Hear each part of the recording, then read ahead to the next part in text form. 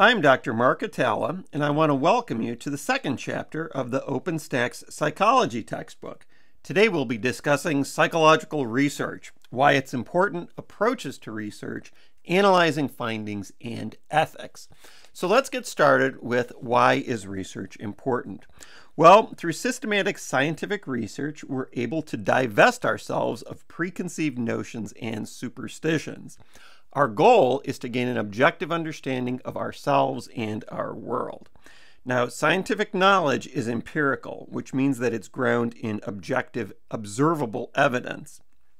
The problem for psychology, though, is that while behavior is observable, the mind is not. So, for example, you might see someone crying and you don't know if they're crying because they're happy, if they're sad, or if they're in pain.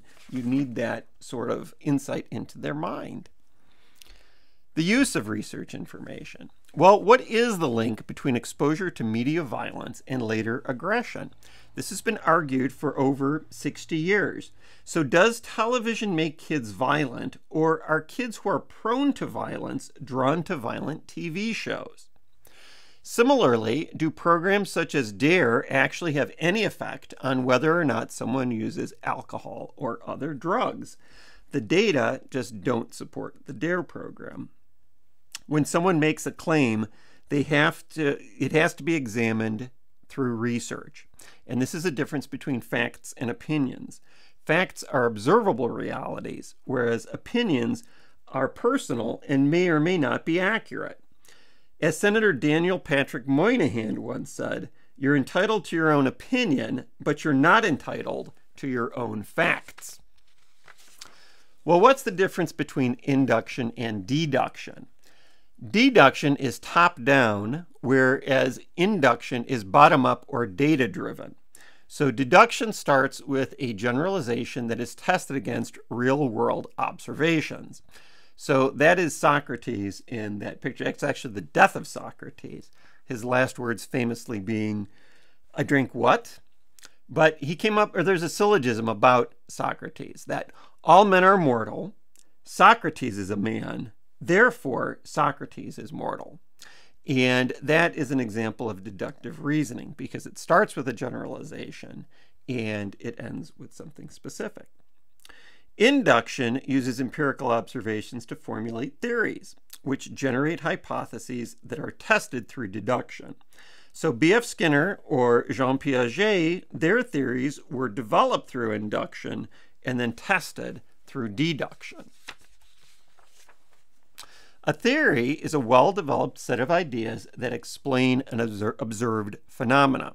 And so, for example, we can talk about psychoanalytic theory. Now, Freud has a theory that you can divide the mind into the id, the ego, and the superego. You can also have a hypothesis, which is a testable prediction, often word, worded as an if then statement, and it bridges the gap between ideas and reality.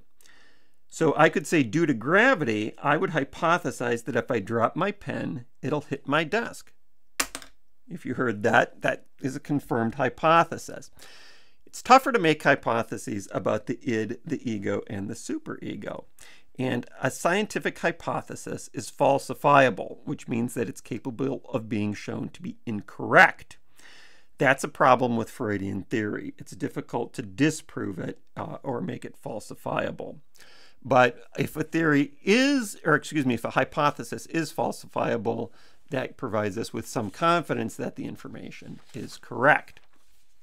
A clinical or case study focuses on one person or a small group of people.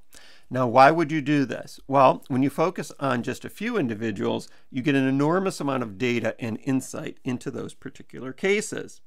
However, there may be issues with generalizing from case studies to the general population, and this is what we would call an external validity issue.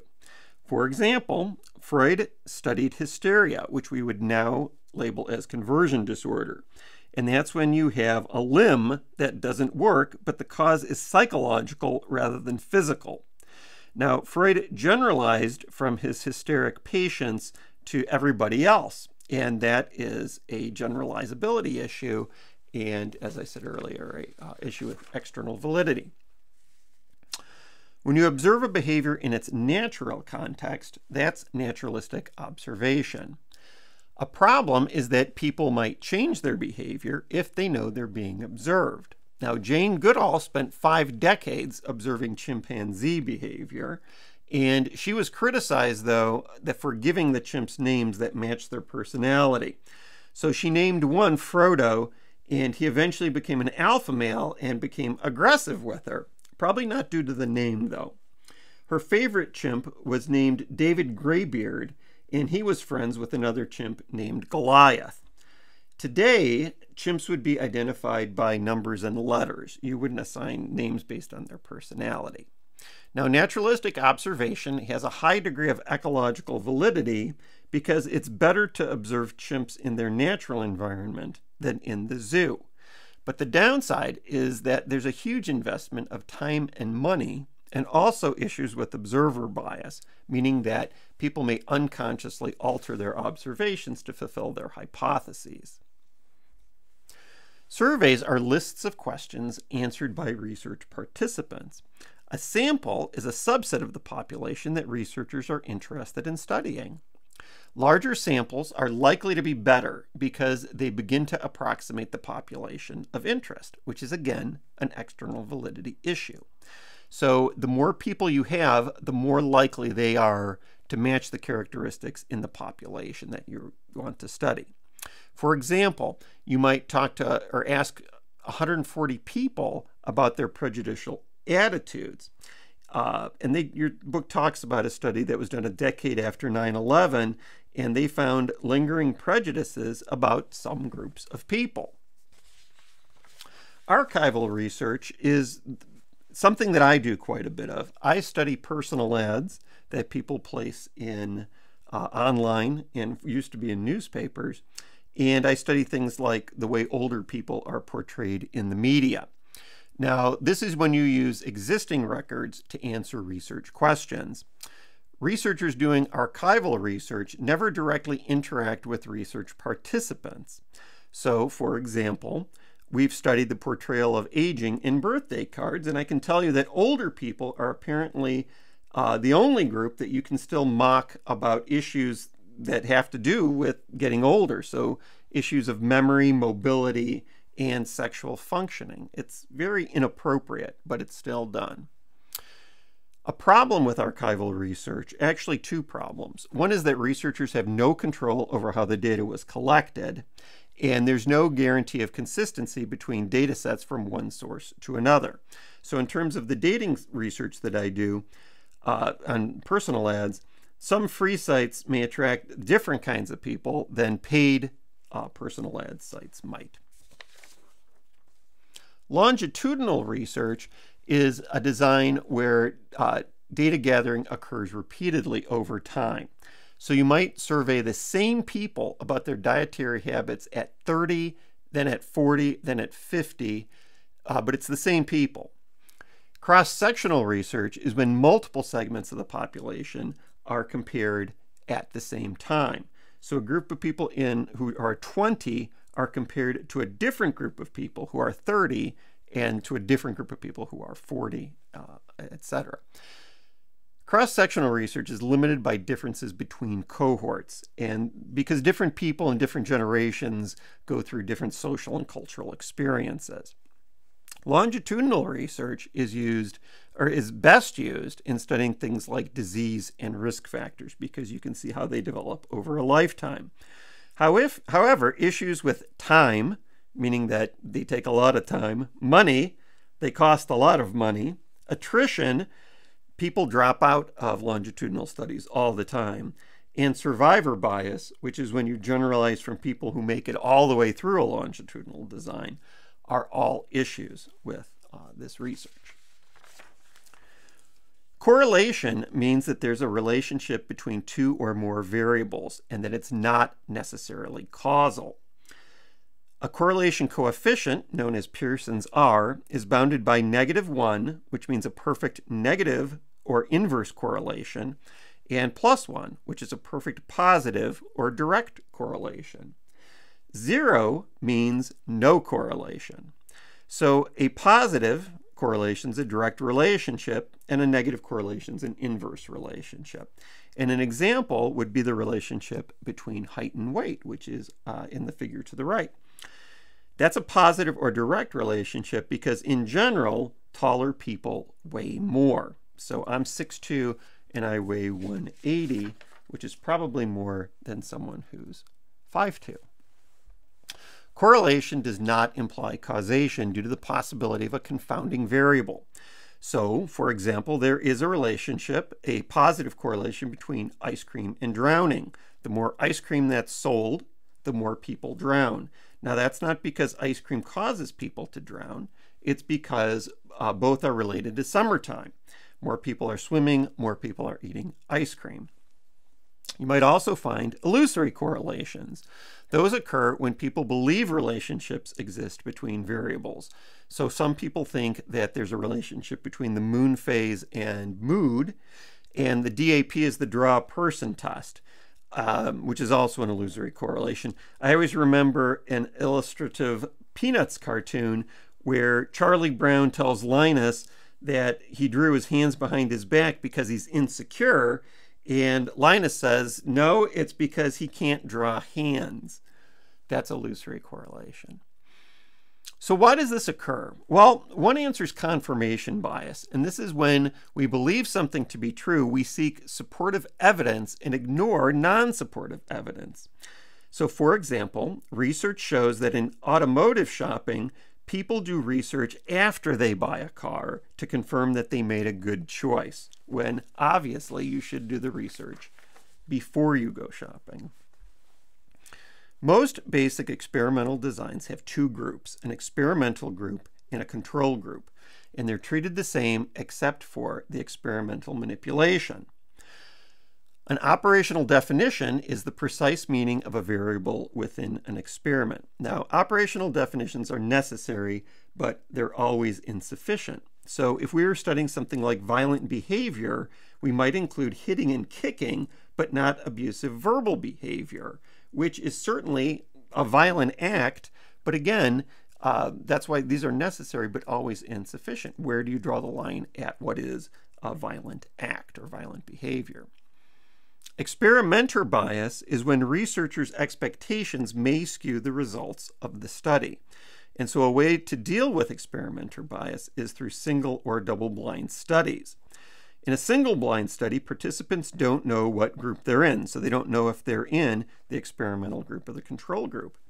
In a double blind study, neither the participants nor the researchers know the group that the participants are in. The placebo effect is, shows that ex expectations can influence outcomes. So if you're given a pill and told that it'll make you drowsy, you might actually fall asleep. An independent variable is manipulated by the experimenter and a dependent variable is measured by the experimenter. So one of the reasons why it's called a dependent variable is because its value is thought to be dependent on whether you receive the independent variable or not. Participants are often college students, and this leads to what's called the volunteer problem, because college students tend to be younger, more educated, more broad-minded, uh, and less diverse than the general population. So again, this is an external validity issue. Ideally, we like to work from a random sample, and that's when every member of the population has an equal chance of being selected for being in the study but those really occur only in textbooks. Much more common is random assignment, and this is when all participants have an equal chance of being assigned to either group in an experiment. And that's really critical for sound experimental design. Once your data is collected, a statistical analysis is conducted to see if there are meaningful differences between your groups. Differences are significant if there's a 5% or less likelihood that that result is due to chance. And that's what's known as the alpha level. Experiments assert that significant differences are due to the impact of the independent variable. Now, the APA publishes a style manual for submitting your paper for peer review. And that's the book that I wrote on how to teach, uh, to teach students how to write in APA style. These peers anonymously judge the value of your research, and they're usually professionals and scholars who are actively involved in research themselves. One of the reasons why they're studying or uh, uh examining your research is due to the replication. So, peer review makes sure that other scientists can replicate the research, which means that they can repeat it and get the same results, which is crucial to the scientific method. Reliability is all about consistency, but being consistent is not the same as being correct. So, for example, as I said earlier, I weigh 180 pounds, but I may get on a scale that says I weigh 130 pounds. Then I might step off it again and step on it again and it says I weigh 130 degree 130 degrees 130 pounds again now that scale is reliable because it's giving me the same weight over and over again but it's not valid at least in, unless I've lost several limbs and suddenly weigh 50 pounds less validity is all about truth so the extent to which a given instrument accurately measures what it's supposed to measure is its validity. For a measure to be valid, it has to be reliable. But like I said before, uh, with weight, a reliable measure doesn't have to be valid. So a legitimate question to ask is, do the ACT and SAT correctly measure scholastic aptitude? Are they reliable and valid measures? Let's talk about ethics in research. So, an IRB is an institutional review board, and that's a committee that reviews proposals for research involving human participants. Now, the informed you'll have to sign an informed consent form, and that tells you what participants can expect, including the risks and implications of the research. And you're also informed of your rights, such as the, the fact that your participation is completely voluntary and that you're free to withdraw from the study at any time. Deception involves purposely misleading participants. And so the picture is actually from the Milgram obedience experiment, where participants were told that they were shocking people to death. Now, they weren't really, they were being deceived. Debriefing happens at the conclusion of a study, and it tells participants what the purpose of the experiment was, how the data was used, and if deception was used, why it was necessary. Let's talk about research with animals too. Researchers often use rats, mice, and birds as research subjects, and the APA estimates that 90% of animals that are used in research are in fact rats, mice, and birds. They're considered to be substitutes uh, for research that would be unethical if it was done to human participants. And you would have an IACUC, which is an Institutional Animal Care and Use Committee, and that's basically what an animal research IRB is. And they ensure the humane treatment of animal research subjects.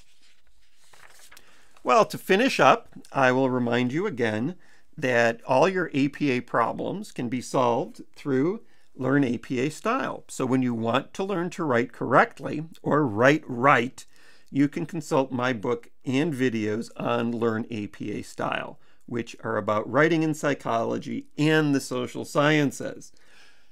Thanks for listening.